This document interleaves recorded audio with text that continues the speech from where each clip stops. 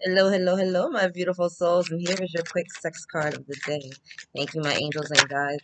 What message do we have for the collective on this day? Okay, okay. The Hermit. That's so funny. I saw that in the pre-shuffle.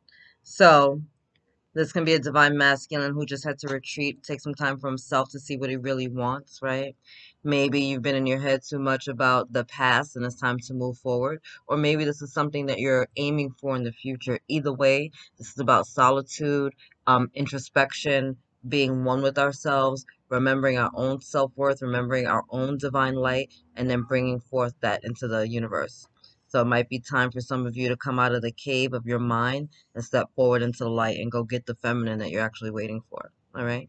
I love you. God loves you. Angels surround you. Oh, sorry. Another message. And if your feminine is with a third party, then you need to focus your energies on what you want the future to look like and stop concentrating on the illusion of the 3D. Okay. I love you. God loves you. Angels surround you. Later, guys.